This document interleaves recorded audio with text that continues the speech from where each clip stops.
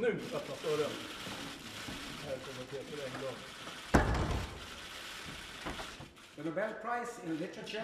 Le prix Nobel de littérature pour l'année 2014 est décerné à l'auteur français Patrick Modiano pour l'art de la mémoire avec lequel il a évoqué les destinées humaines les plus insaisissables et dévoilé le monde de l'occupation.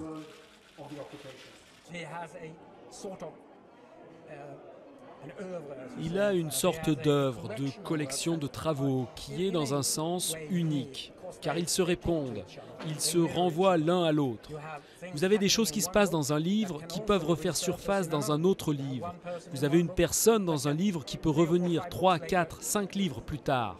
Et donc ces livres parlent les uns avec les autres. Il faut vraiment lire un certain nombre de livres pour voir que tout cela fait partie d'un grand, grand pulse qui l'assemble perpétuellement.